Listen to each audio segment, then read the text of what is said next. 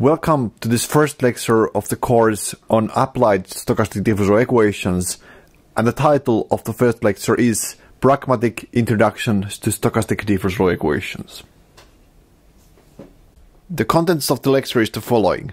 We will start by introducing what are stochastic differential equations. Then we will proceed to examples of stochastic processes in physics and engineering which will lead to stochastic differential equation models.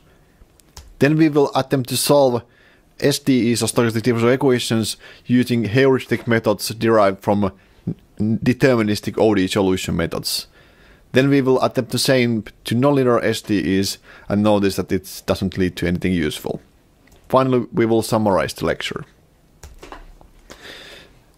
Let's start with an introduction to what are stochastic differential equations.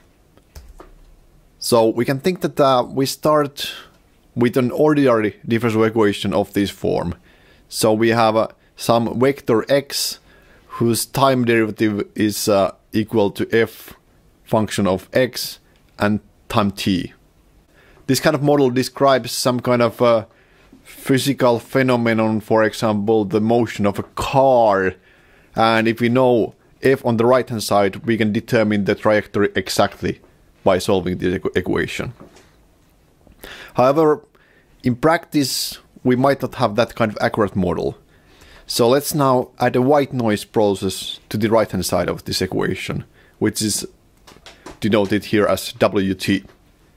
Now the solution to the equation is so that we have a mean kind of trajectory which is described by the original deterministic equation and then we have a random Wt white noise which distracts the original solution from its deterministic path.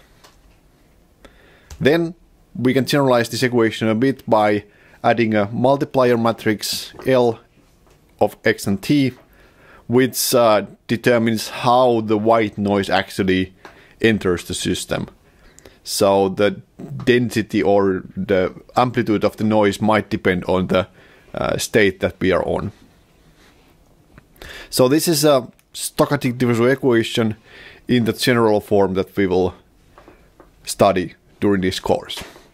Here f, which is a function of x and, x and t, is called the drift function, and L, which is a function of x and t as well, is the dispersion matrix. And uh, Wt is the white noise. Let's now take a look what kind of process actually is white noise which enters the stochastic differential equation. A white noise is a random function w of t such that uh, if we are given two values w at t1 and w at t2 they're going to be independent provided that these two, two time points t1 and t2 are not equal. The function wt is also a Gaussian process with zero mean and the covariance given by Dirac delta function times q.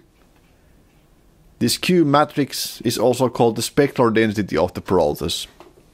It turns out that the sample path of Wt is discontinuous almost everywhere. Almost everywhere meaning that in practice it is discontinuous. Theoretically, in some zero measure sets, it might be continuous, but it's more like a theoretical and mathematical property. White noise also turns out to be unbounded and it takes arbitrarily large positive and negative values at any finite interval.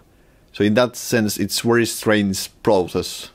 So what does a solution to stochastic differential equation then look like?